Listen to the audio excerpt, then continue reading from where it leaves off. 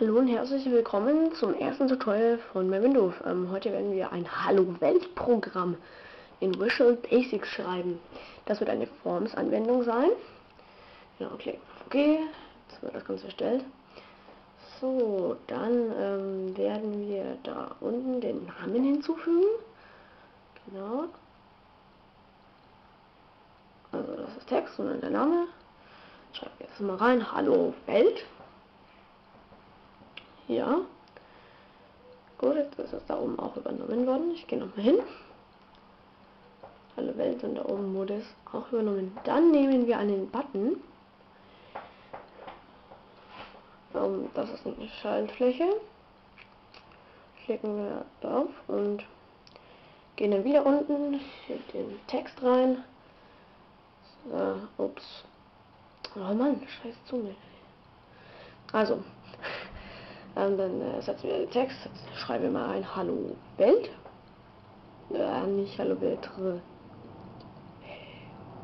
Welt. So, ähm, dann, ähm, genau. Das, wie gesagt, das ist euch überlassen. Dann könnt ihr, machen wir einen Doppelklick darauf, bekommen jetzt diese Proteine dazu.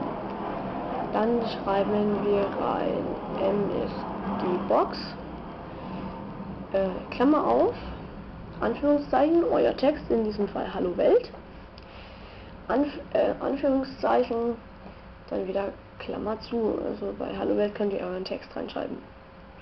Plus MSG-Box, ist sozusagen die Funktion und die Klammern und Anführungszeichen gehören dazu, da werden wir später noch etwas dazu machen. Dann kommt euer Text bei Hallo Welt dann rein. Aber ich würde jetzt eben an, am Anfang Hallo Welt nehmen. Genau, dann ähm, debuggen wir das, das heißt wir starten es. Ähm, klicken auf diesen grünen Pfeil. ja, jetzt wird das gestartet. So, ähm, jetzt haben wir diesen Button. Klicken wir jetzt mal äh, drauf. Das ist das Wichtigste, das, den haben wir jetzt gerade programmiert. Und was kriegen wir? Ein Hallo Welt. Oder Text Hallo Welt ist, den haben wir gerade festgelegt.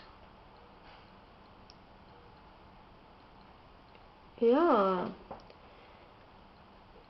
ja, das war's eigentlich auch schon. Und bitte abonnieren.